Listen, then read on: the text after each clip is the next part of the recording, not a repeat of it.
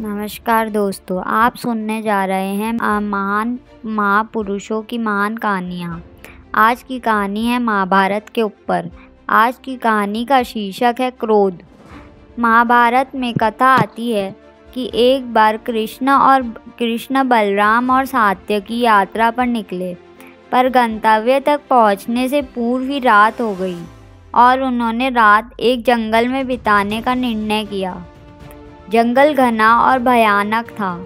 अतः तीनों ने मिलकर निर्णय किया कि वे बारी बारी से पहरा देंगे। प्रथम प्रहर में जान, जागने की बारी सात्यकी की थी और अभी प्रहर में प्रारंभ ही हुआ था कि एक राक्षस ने सात्यकी पर हमला कर दिया। सात्यकी अपने शौर्य के लिए प्रसिद्ध थे, इसलिए उन्हें राक्षस के दुस्साहस पर क्रोध आ गया। पर सात्यकी क्रोध में। उस राक्षस से जितना जूझते उत, उसका शरीर उतना ही बड़ा होता जाता।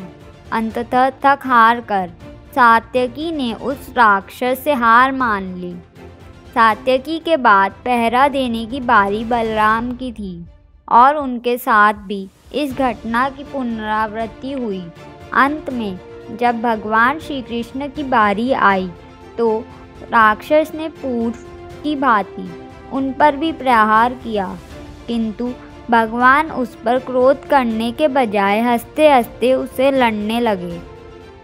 इस बार राक्षस अपने को हारता देखकर उत्तेजित होने लगा।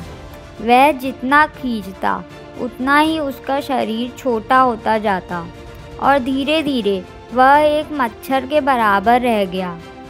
श्री कृष्ण ने उसको पकड़कर अपने अंगवस्त्र में बाँध लिया और सुबह होने पर उसको सात्यकी एवं बलराम को दिखाते हुए बोला, देखो, यह रहा तुम्हारा राक्षस। यह और कुछ नहीं, बल्कि हमारा क्रोध ही है।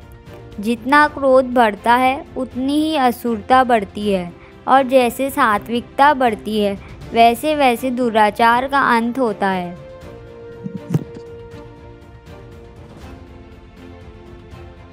इस कहानी से हमें यह शिक्षा मिलती है कि क्रोध हमेशा इंसान को तब आता है जब वो अपने आप को कमज़ोर व हारा हुआ पाता है।